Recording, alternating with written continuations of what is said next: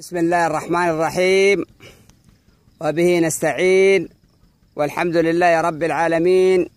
على ما نعيشه هذه الأيام من فرحة اليوم الوطني للمملكة العربية السعودية الحبيبة العام 88 وهذا كله من أجل هذا الوطن الشامخ الذي نتفيأ ظلال نهضته وتطوراته. والحمد لله في ظل قيادة مولاي خادم الحرمين الشريفين الملك سلمان بن عبد العزيز وولي عهده الأمين محمد بن سلمان حفظهم الله.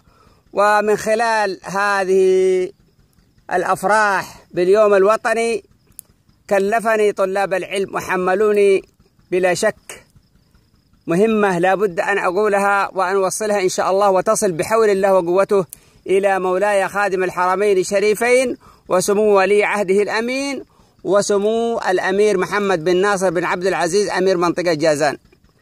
الطلاب والطالبات ومنهم أبنائي وبناتي ولله الحمد مشاعرهم لا توصف.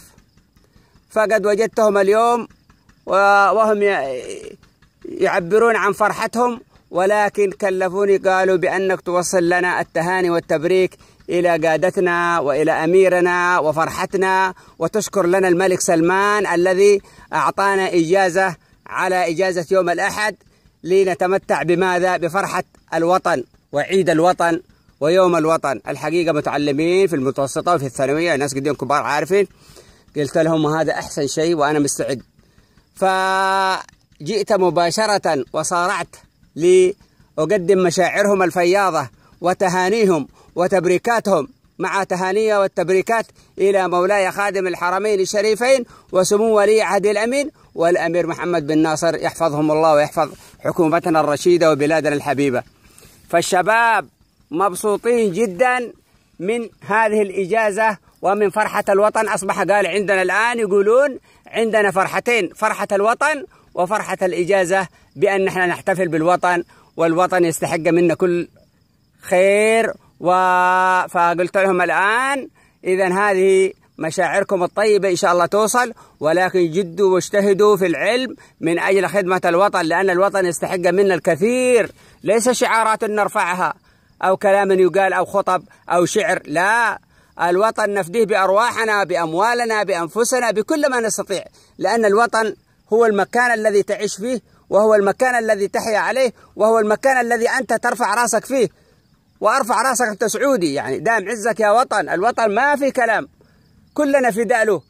وكلنا من أجله نضحي بأنفسنا وبكل غالي ونفيس من أجل صد الأعداء عنه.